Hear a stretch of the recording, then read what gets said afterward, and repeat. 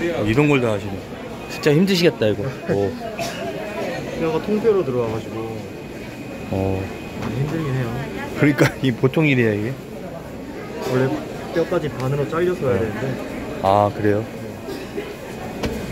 이게 뱃살인가 보네 오도로 쪽에. 그쵸?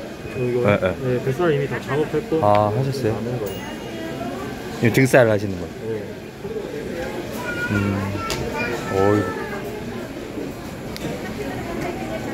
오이씨.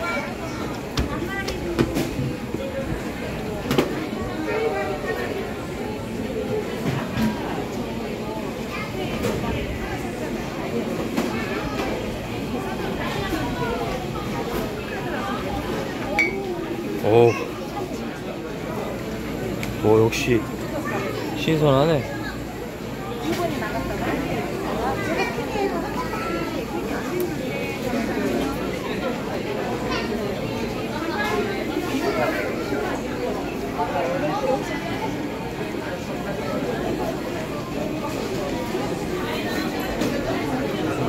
왜?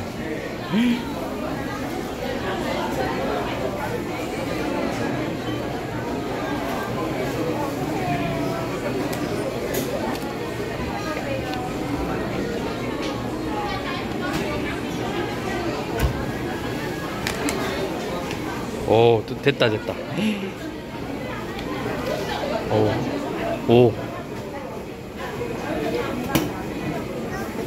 아, 고생하셨습니다. 어, 오.